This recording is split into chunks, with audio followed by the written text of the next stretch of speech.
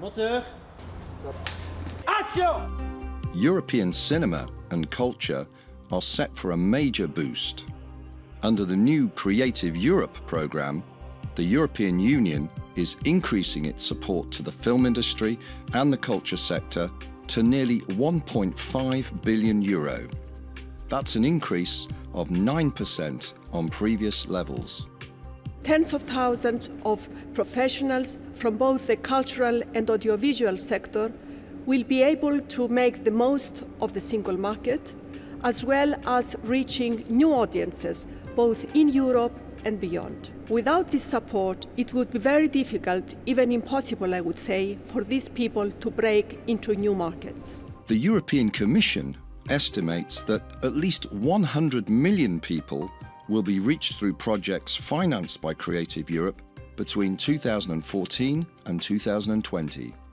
The cinema and audiovisual sector will receive more than 800 million euro, and culture will get 450 million euro.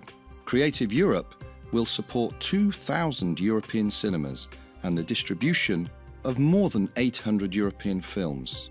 250,000 artists and audiovisual professionals will receive funding to reach new audiences, and it will enable the European Union to contribute to the translation of 4,500 books. The European Commission will also launch a 120 million euro guarantee fund, which will allow small businesses in the cultural and creative industries to access up to 750 million euro in bank loans.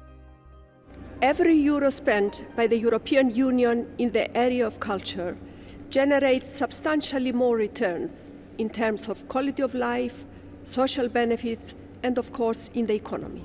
Creative Europe supports and promotes cultural and linguistic diversity, intercultural dialogue, but it also promotes the Europe 2020 objectives for jobs and sustainable growth.